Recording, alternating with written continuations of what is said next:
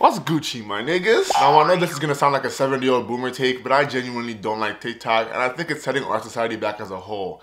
I haven't scrolled on that app since January of this year, so that makes almost 12 months.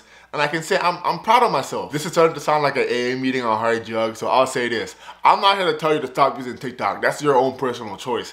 I'm just here to list out the reasons as to why I think that app is bad. As to whatever you want to do with it, it's, it's your life, man. If you want to sniff coke, right in front of me, hey, I, am not gonna stop you, bro. You can do whatever you want, you know? I might even join you. Now, my main reason for not liking that app is because it's good. A bit too good.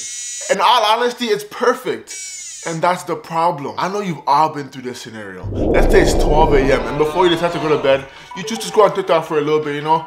Get a quick laugh before bed. Ain't nothing wrong with that. You're scrolling, scrolling, scrolling. A few minutes go by. You look up, and all of a sudden it's 5 a.m. You may think I'm exaggerating that, but I'm not. That has literally happened to me multiple times. When I'm using that app, it's as if time is being ripped away from me without me even knowing.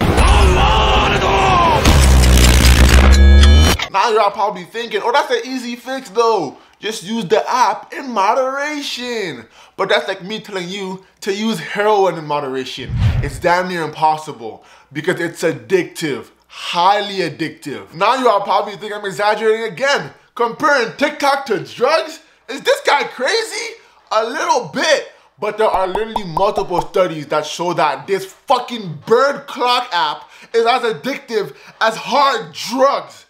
Isn't that crazy? Them Chinese niggas actually created an app to ruin productivity across the world and it actually worked.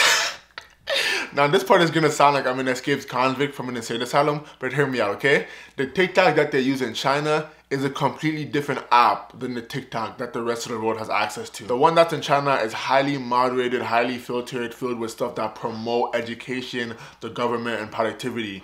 And the one that's left for the rest of the world is filled with more boobs and butt than a strip club. On the Chinese version of TikTok, all videos seen as degenerate by the Chinese government are actively removed, and yet at the same time, the algorithm promotes videos of hardworking, everyday people sharing their life and work accomplishments. As you could expect, these videos are generally wholesome, upbeat, and positive, with with there being a literal section on the Chinese TikTok called Positive Energy to promote the Communist Party. But in the West, TikTok promotes the exact opposite. On our version of TikTok, we're bombarded with endless insipid videos of girls shaking their ass to music, where we become obedient, placid consumers slumped open in front of screens. Genuinely, on TikTok you will see one of three things. Super funny videos, unnecessary yet a highly entertaining drama, or an ungodly amount of ass and titties. And your occasional cute pet and gym videos videos, of course.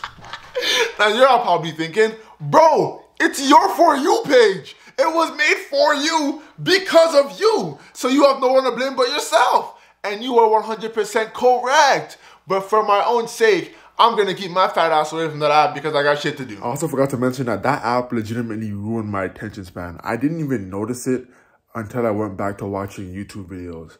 I was watching the same videos that I'd always watch, but all of a sudden, it felt different. I felt like these videos were all of a sudden they were boring, even though I loved those videos a few months ago. So I was like, what the f I'm watching a video and nothing exciting is being blasted in my face. And I was like, but what the fuck?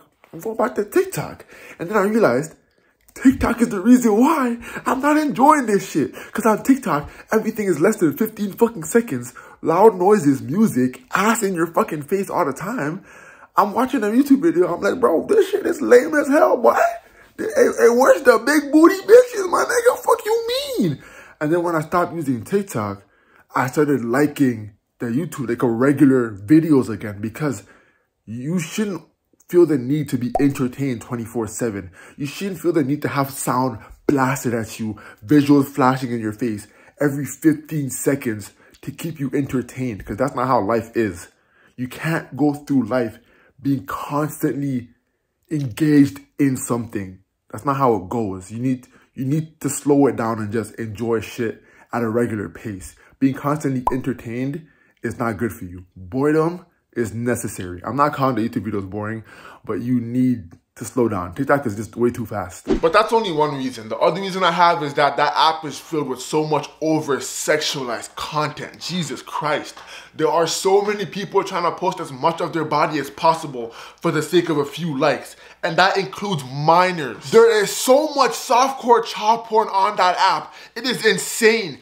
And the comment sections are filled with grown men. It's sickening, but they won't ever get caught because it's all anonymous but you can talk about the way they type in the comments that it's all creepy pedophiles. No 17 year old is gonna comment and say, oh, I like your tight butt. Bro, you are 70. Where's your family? Anyways, I think I vented enough. That's all I have to say about that damn TikTok app.